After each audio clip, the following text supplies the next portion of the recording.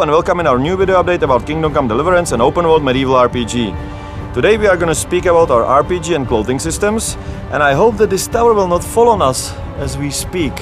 We are getting a lot of questions about RPG, how it's gonna work, how many stats and skills are gonna be in the game, and obviously how complex it's gonna be, since there is no magic involved. It's going to be very complex, trust me. And let Viktor, our lead designer, tell you more about it now.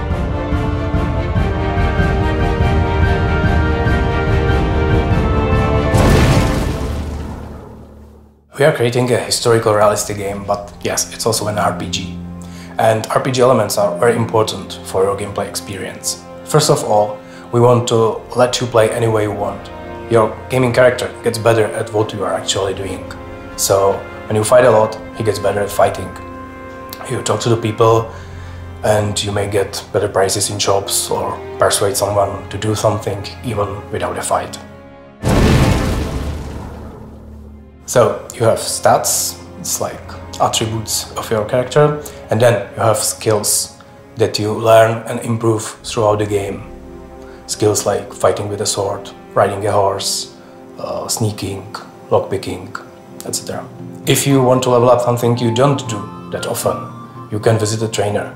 Good example for this is a combat, because we use uh, real-time first-person uh, close combat that is quite action-oriented, and it may get quite difficult if you encounter tougher opponents. But the actual difficulty of the combat is influenced heavily by the fencing skill of your character.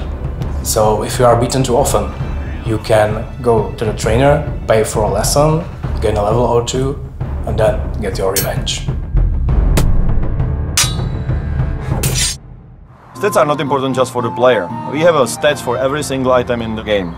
Every item, for example, has its own quality, which indicates how fast it's gonna get damaged. In case of food, it means how fast it's gonna rot. Yeah, we have a rotting food, and that means that you cannot have raw meat in the inventory forever. Weapons have three different types of attacks and every armor has three corresponding types of defense. For example, this thing is not very good for slashing, but it has very good blunt damage.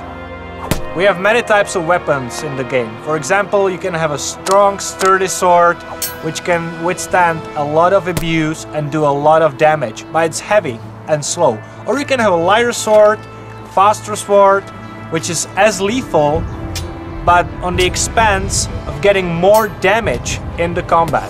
which can be compensated by proper handling by experienced swordsman, in this case, player with high fencing skill. And all those things combined together bring nice survival element into the game. It's not an easy task to survive in the medieval world.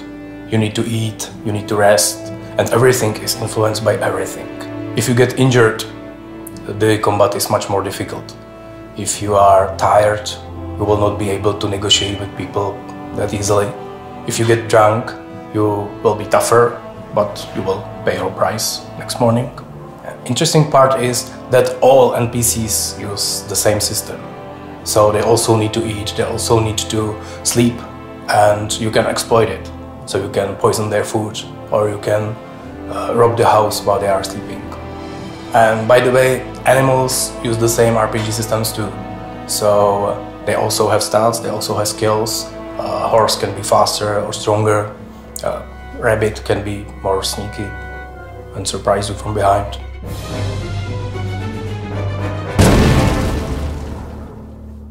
Important part of every RPG is its character customization. And I dare to say that in Kingdom Come Deliverance, we have one of the most complex and sophisticated clothing systems ever created for a game. We have four layers of clothes on the character, and 20 slots for armor, weapons and accessories, uh, which gives us almost unlimited options of character customization and thousands of combinations. We are trying to be as realistic as possible, so first I studied how actual armor looks and works. And I realized that it's very different than in most games. It's not just armor, helmet and pants in a few different slots, it's much more complex, consists of a lot of pieces that are combined together and each serves different purpose. So I realized that we need something more, we need layers. So the first layer is gambeson. Gambeson is made of heavy linen cloth. It's stuffed with horsehair, sclep clothing, virtually anything you can find, and it's soft. You can put in gambeson. Gambeson is also called padded armor because it softens the blows that will land on the upper layers. You can wear it solo, as often not rich soldiers did, but you can also don other layers upon it. Having a squire is a definitely advantage in the Middle Ages. So second layer is chainmail.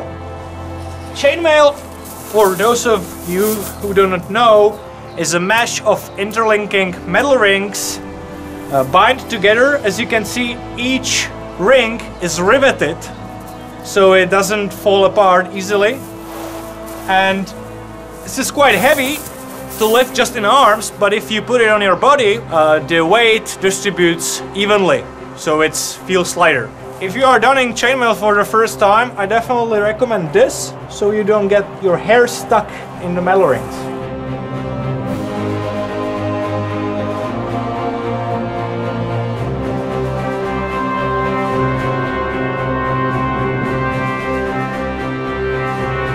Finally you have your plate armor, which consists of different uh, parts, various shapes and sizes, serving different purposes, protecting different parts of the body. I only have some parts here because the full armor is pretty expensive and heavy. So this is a chest plate and then I have a pair of couters which will come at my elbows later. And plate armor was really the symbol of knighthood as it was the most expensive armor you can get and the shiniest, obviously.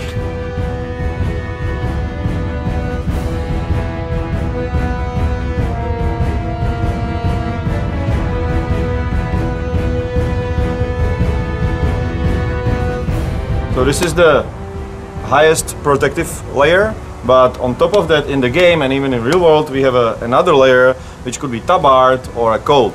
So tabard was put over the armor usually to show uh, the insignia of the knight and also to protect it from uh, from the sun because this gets very hot when, when you are on the sun. Uh, or you can use cold uh, and that's in the game as well. And then we go to the helmet. Yes, because no reasonable combatant in 15th century would attend a fight without a proper head protection. In Kingdom Come we have various uh, shapes and sizes for helmets. This is a classical bell-shaped kettle hat and I will done it uh, along with this uh, mail neck protection because this protects head but you also need to protect your neck so I will done this. And also and this. also uh, padding for my head so I don't get a ring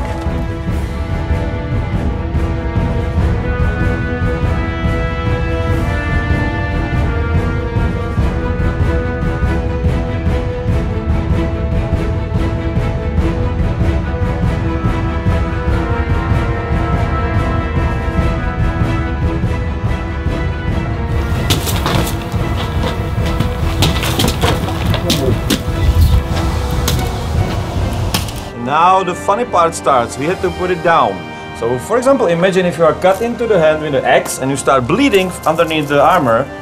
You had to put it down and it takes forever and you can do it alone, so you will die.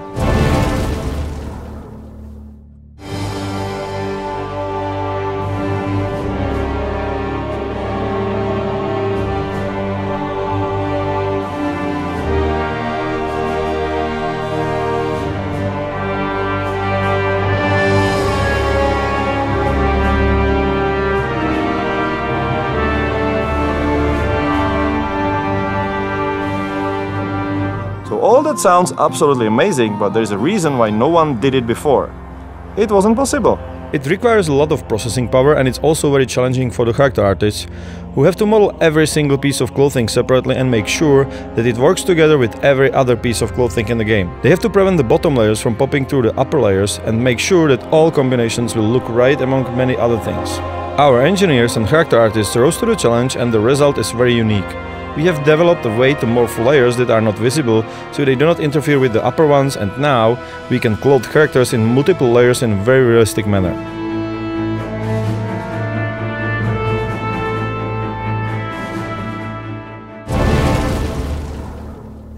Uh, we also have a system for damage and dirt. You need to take care of your equipment. You need to repair your armor because when it's broken, it's broken. If you are too dirty, you can have troubles in the city or while shopping, people will not talk to you, etc. Also, everything you can see on any NPC can be looted. So if you, for example, find a bandit, you kill him, and uh, grab his armor. You can go to the bandit camp, and if you are convincing enough, they may think you are bandit too, and they will not attack you, and you can finish the quest some unusual way. And the armor value is not the only important stat on your equipment. Uh, you need appropriate clothing for special situation. If you go shopping, it's much better if you have something fancier on you. If you want to get some information from a beggar, it's much better to dress as a beggar and he will talk to you. We want to create a believable medieval world and the RPG system is not against it, it's there to support it. So, that's our RPG and character customization system. I hope you like it. If you do, you can still pledge for the game on our website and play the beta. Thank you very much for watching and see you soon.